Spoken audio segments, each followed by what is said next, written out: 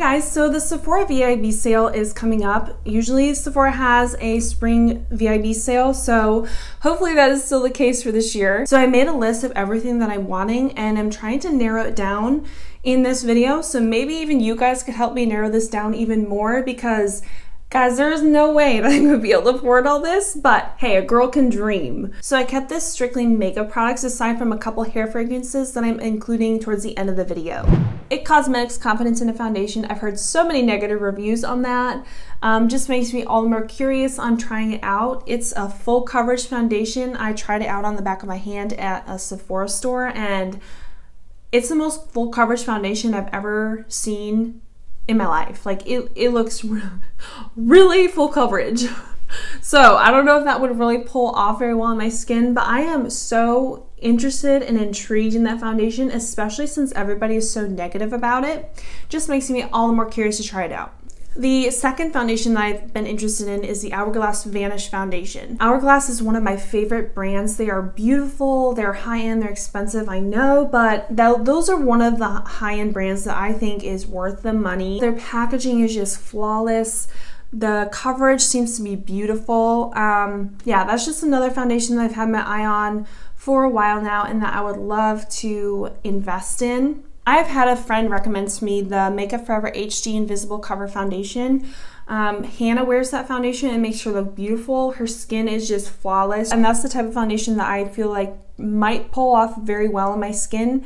So that's another foundation that I've had my eye on. Two foundations that I don't really hear anybody talking about is the Koh Gen Do Aqua Foundation and the Stellar Limitless Foundation. Those are two foundations that you don't really hear about on YouTube. Um, and I'm really interested in trying them. They sound like they're beautiful formulas. Um, I know I have that oily skin, but that doesn't mean that I'm not going to try them out. And I've actually been more open minded about it. Even though I have oily skin, doesn't mean that I can't try out a dewy foundation. The two concealers that I'm interested in for the Sephora VIB sale is the Jouer Essential High Coverage Concealer and the Huda Beauty Overachiever Concealer. Both of them sound amazing. I want both of them, but I'm trying to limit myself and really pick out things that I think will really complement my makeup collection and that I will reach for a lot. I have seen such a difference in my makeup when I wear concealer. So this decision is a big one for me because I love concealer right now and I'm picky about them. So the brands that I chose are very, very highly recommended brands and they have good reviews. The Dominique Cosmetics Latte eyeshadow palette looks amazing and they look like colors that I would use so much. They're really good reviews on Sephora, so more than likely I probably will get that palette. But let me tell you the other two that are on my wish list. The Pat McGrath Labs, uh, what is it exactly? The Mothership 5 eyeshadow palette Bronze Seduction. Oh my word. It looks beautiful. Um, I've heard amazing things about um, Pat McGrath Labs um, brand. I don't have anything from them in my collection, and I feel like that would be such a staple to put into my makeup collection. Um, Pat McGrath is very expensive, and that is why I would wait till the Sephora VIB sale. More than likely, I'll, I'll wait till the 20% off to purchase that palette, but that is a beautiful palette and that is something that I would definitely buy. Let's talk about Natasha Denona. I feel like everybody has that her on their list for their VIB sale. Um, but in particular, the Safari All Matte palette has been on my wish list for a while. Um, I just, I feel like Natasha Denona is a staple brand to have in your makeup collection, like especially if you're a makeup fanatic like me. Um, she's just one of those brands that I want to have. The Fenty Beauty All Over Diamond Veil Highlight. I have wanted that for the longest time. I keep on swatching it every single time I walk into Sephora. Like it's just, it's got this beautiful glittery formula that just instantly attracts someone who loves highlights. So that is something that I feel like I would wear so much in the summer um, just because that sun would be catching all that highlight and glitter and yeah, that's something I'm definitely interested in. The Patrick Ta Body Glow Oil looks amazing. Um, I don't know if I would like it more than I do my Sol de Janeiro oil. Like, I love that oil so much. I don't think there could be anything really that could replace that. But looking at that Patrick Ta oil looks tempting. And it's beautiful packaging. I mean, it looks like you get a lot for $52. So, yeah, that's on my wish list. I have two products that I want to mention for face powders. The first being the Sweet Peach Too Faced Setting Powder. I've just had my eye on it for a while and I think that it would be worth my money, especially since I have the oily skin. Um, I'm always interested in finding a new setting powder and I feel like this would just be a good fit for my skin.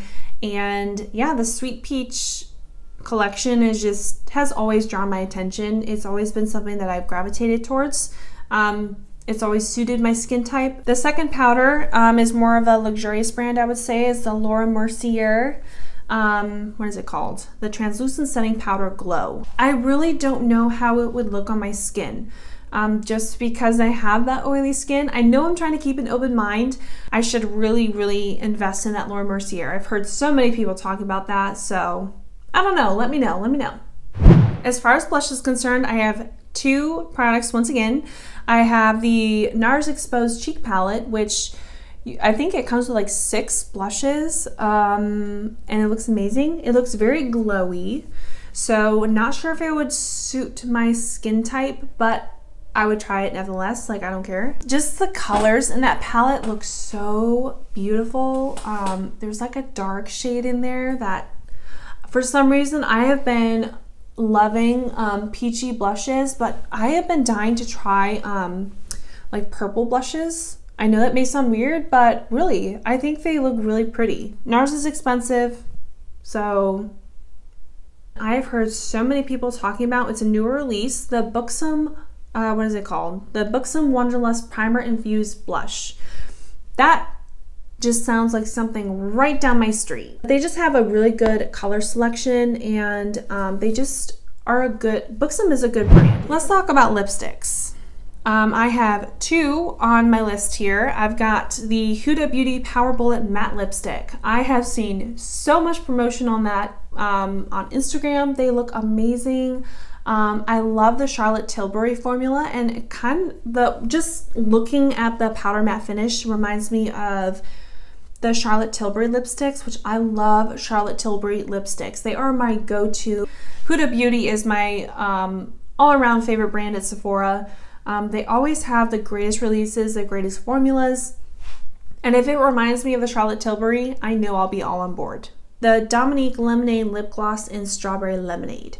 That formula looks so glossy and I really want to explore Dominique Cosmetics more because I've been hearing more and more about them and I've been hearing some really good positive things about that brand and it just makes me want to explore them even more.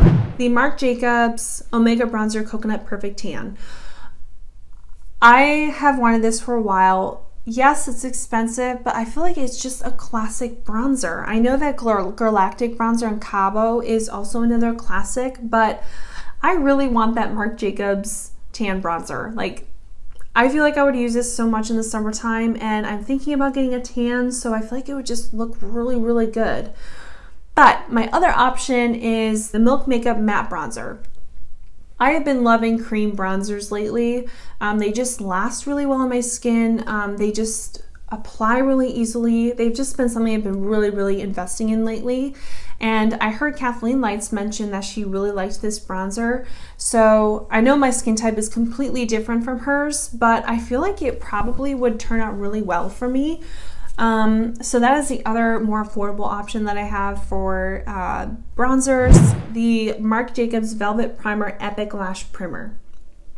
I have heard so many good things about that. Like just using it as a base and then putting whatever your favorite mascara is, like mine right now is the ColourPop Lash Love Mascara.